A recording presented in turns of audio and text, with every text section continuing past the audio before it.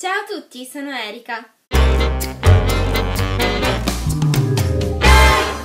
Oggi volevo parlarvi di una nuova serie manga che ho iniziato e sto parlando di One Week Friends di Machazuki. Questo è il primo volume di 7 e in pratica si tratta di un manga shoujo però eh, l'ho trovato molto diverso rispetto a quelli che ho letto negli ultimi anni, sia per lo stile di disegno che è un po' diverso, mi ricorda un po' quello di, eh, come si, chiamava? Oddio, non riesco mai a ricordarmi col nome, poi la Madoka Magica, scusatemi se ho invertito le parole ma è troppo complicato quel titolo, è troppo lungo.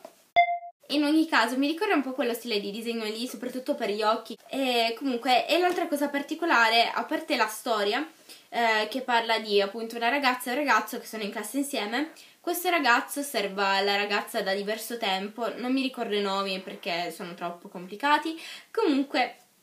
eh, questo ragazzo osserva questa ragazza da diverso tempo che se ne sta sempre un po' per le sue, eh, non ascolta gli altri, cioè non è che non le ascolta, però non ci fa amicizia, ecco. E, però lui interessa lei, per cui a un certo punto riesce a prendere coraggio finalmente eh, chiede a questa ragazza di diventare amici e poi da lì iniziano a pranzare sul terrazzo della scuola e fanno amicizia. L'unico problema è che lei eh, non può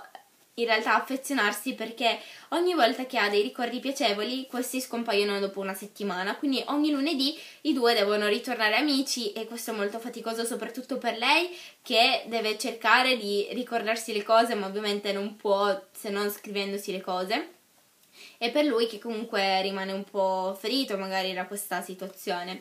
Per cui cerca di farle tornare alla memoria però ovviamente non è così facile come si può pensare Ok, questa è la trama generale, eh, quindi avevo letto la trama sul retro e mi interessava per cui l'ho iniziato a leggere. Poi l'altra cosa particolare, a parte il fatto che le prime due pagine sono colori, ed era una cosa che non mi capitava di vedere da diverso tempo,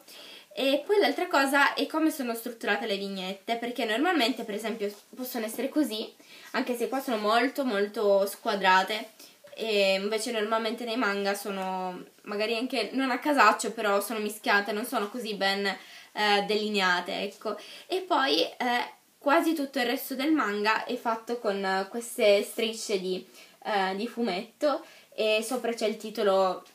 in cui in pratica si riassume l'argomento di quella striscia il che credo di, eh, riprende un po' come erano i manga in origine perché se non mi ricordo male prima venivano fatti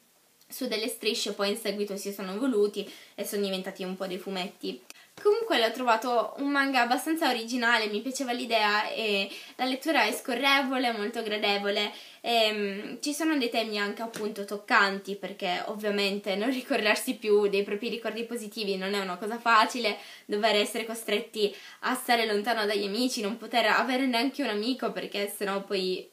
stai male e fai soffrire gli altri l'ho trovata un'altra cosa molto interessante, per cui ve lo consiglio vivamente e basta, credo di non avere altro da dire. Ho pensato di fare questo video perché così vi potevo parlare di una cosa velocemente senza farvi un altro video lungo tipo 15 minuti come gli ultimi che ho fatto nelle ultime settimane. E spero che vi sia piaciuto il video e noi ci vediamo la prossima settimana con un nuovo video. Non so ancora cosa farò perché è un periodo sempre un po' impegnativo con la scuola, lo so che è tutto l'anno che lo ripeto, però adesso tipo 15 verifiche in 10 giorni e mi devo veramente mettere sotto con lo studio, c'è da spararsi, non so nemmeno se riuscirò a dormire, forse no, forse sì, boh, non so, spero di sopravvivere fino al 2 giugno. E eh, fino ad allora devo rileggere tre libri di scuola che erano quelli che dovevo leggere per le vacanze invernali però dato che non mi ho ancora parlato del libro di Shasha probabilmente ve ne riparlerò appena lo rileggo e questo è tutto, per cui noi ci vediamo la prossima settimana. Ciao!